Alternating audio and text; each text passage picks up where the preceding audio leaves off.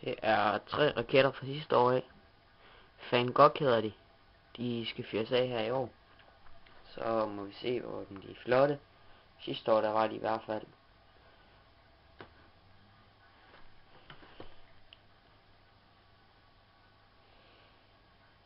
Så det er tre stykker. De to yderste, det er to små. Og den i midten, det er en stor en. Men øh, Van Gogh, det er godt mærke, jeg købte dem i hjem og fik sidste år. Der, det var billigt. Det var familiesortiment. Der var ikke det største, tror jeg, det var i. Ja, hej.